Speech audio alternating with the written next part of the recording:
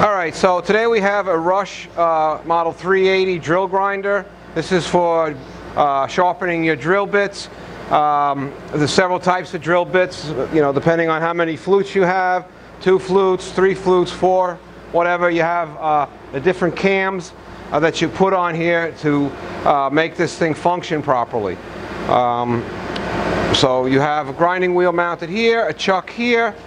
Um, when we start off the grinding wheel, the grinding wheel can be fed in or out to your drill.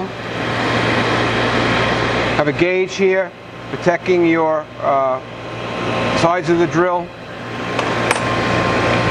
can rotate the chuck by hand. It can be put in different positions along this uh, way here. It can also be run this way, we move the wheel in, move the wheel out. Well, somehow, if you have this all set up right, you can go in there and dress this wheel, this, this drill, excuse me. I don't think I want to give it a try, but something like that. You actually have a pneumatic uh, function on this, and you could come in as you go along, keep going and keep going until you have your drill the way you want it, and you can put your gauge back on and check your, your dimensions.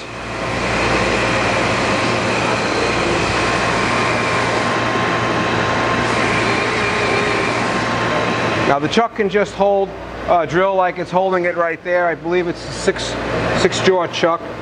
Uh, you have several different indents on here uh, and a mechanism here for locking it in place. There's a bar here with a scale along the side. I'm not quite sure what, what that does, but obviously this chuck does more than just hold the drill. Over here you have a cam follower. This is following this cam, allowing this to make the right monk. This is not just rotating, this is also going in and out if you look here. And that's following this cam. Now this cam has a number 4 on it. Not sure what that means. We have a number 2, 4, 6, 8, and 10. So it comes with all those different cams. Uh, let's back this out of the way.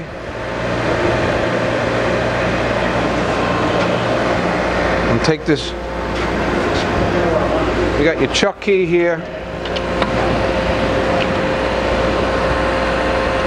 We can take that out of there. I'm just going to open these jaws up a little wider.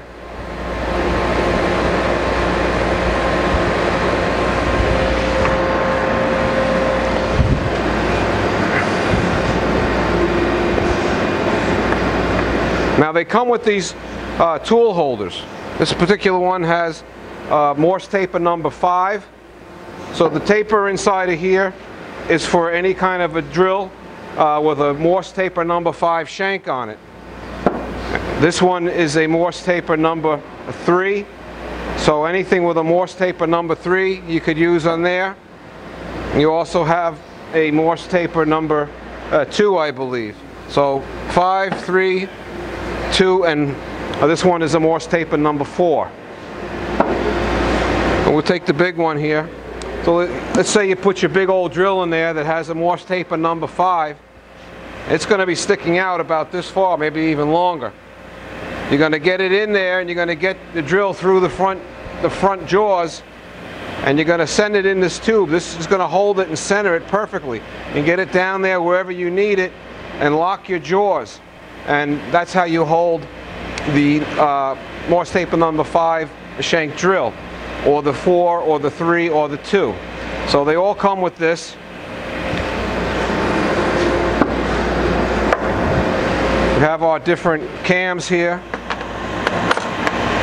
Take the one that's on there off and you put these on. Machine comes with a manual, explains all this stuff. Um, this is a dressing tool. Again, you'd put this down through the bore and tighten your chuck up onto it and then you can turn it in such a way to put certain uh, relief or angles or just dress uh, the grinding wheel.